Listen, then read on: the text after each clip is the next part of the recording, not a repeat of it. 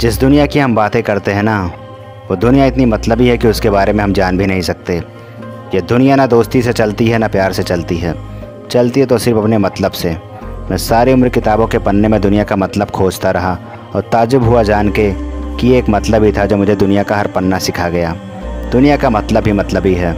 कभी कभी हज़ार काबिलियत होते हुए भी ये इज़्ज़त नहीं मिलती, जो इज़्ज़त सामने वाले का एक मतलब पूरा कर देने से मिल जाती है।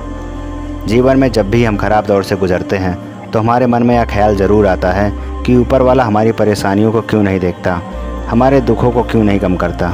पर शायद हम यह भूल जाते हैं कि परेशानियों और दुख का समय हमारी परीक्षा ही है, इसलिए कठिन रास्तों से न घबराएँ। हर कठिन रास्तों का अंत एक खूबसूरत मंजिल पर होता है।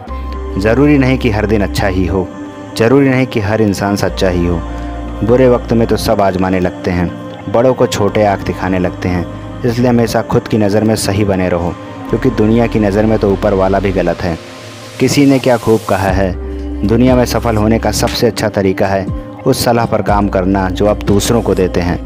स्वीकार करने की हिम्मत और सुधार करने की नीयत हो तो इंसान अपनी तकदीर बदल सकता है। मंजिलें कितनी भी ऊँची हों, लेकिन रास्ते हमेशा पैरों के नीचे ही होते हैं। और अगर कुछ बड़ा करने का सपना देखा है तूने तो तुझे दुनिया से नहीं, बल्कि अपने आप से लड़ना होगा। और लड़ाई तब तक जारी रखना होगा जब तक तेरी मंजिल तुझे मिल ना जाए।